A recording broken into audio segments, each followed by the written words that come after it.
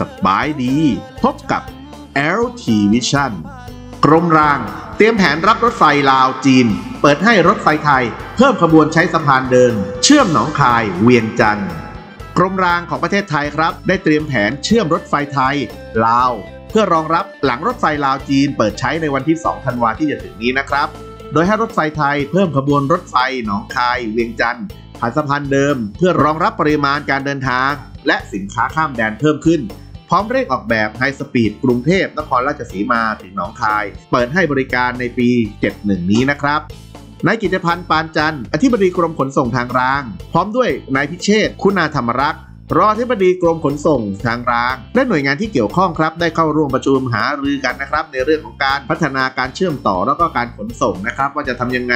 ว่าจะเตรียมการรองรับการขนส่งข้ามแดนทางรถไฟในช่วงหนองคายเวียงจันทร์นะครับ เพื่อจัดทำข้อเสนอในการเชื่อมต่อการขนส่ง เพื่อความร่วมมือรถไฟระหว่างไทยจีนต่อไปครับ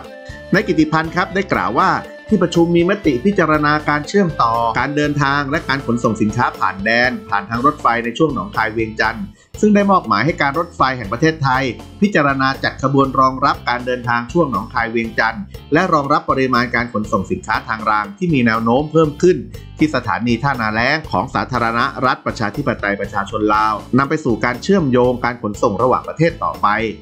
ในส่วนของโครงการรถไฟจีนลาวนั้นครับ ได้เตรียมเปิดดำเนินการในวันชาติของสปปลาว ในวันที่ 2 ธันวาคม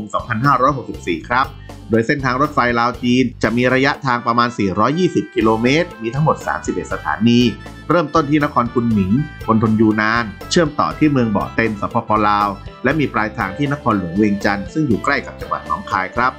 โดยประเทศไทยครับ อยู่ระหว่างการดำเนินการก่อสร้างรถไฟความเร็วสูงระยะที่ 1 ช่วงกรุงเทพนครราชสีมา มีระยะทาง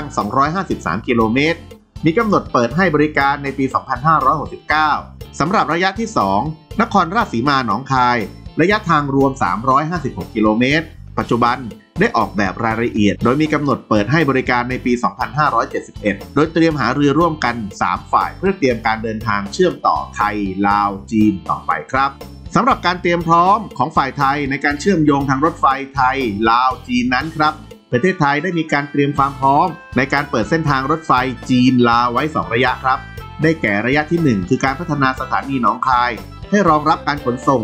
ผ่านสะพานเดิม โดยพัฒนาบริเวณสถานีที่มีพื้นที่ 80 ไร่ ให้เป็นพื้นที่ตรวจปล่อยสินค้าระหว่างประเทศ และการเปลี่ยนถ่ายจากถนนสู่ราง โดยให้เอกชนเช่าบริหารพื้นที่ 4 แปลง อีกหนึ่งแปลงถือเป็นพื้นที่ส่วนกลาง ระยะที่ 2 จะเป็นการก่อสร้างสะพานข้ามแม่น้ำโขงแห่งใหม่ ซึ่งมีที่ตั้งอยู่ห่างจากสะพานเดิม 30 เมตร โดยเป็นสะพานรถไฟที่มีทั้งขนาด 1 เมตร และ 1.435 เมตร โครงสร้างสะพานจะเป็นรูปแบบสะพานคานคอนกรีตอัดแรงรูปปล่อง ก่อสร้างโดยวิธีคานยื่นสมดุล นอกจากนี้ครับจะมีการจัดเตรียมพื้นที่และสิ่งอำนวยความสะดวกสำหรับศูนย์ย่านเปลี่ยนถ่ายสินค้า สามารถรองรับการแลกเปลี่ยนสินค้า จากรถไฟ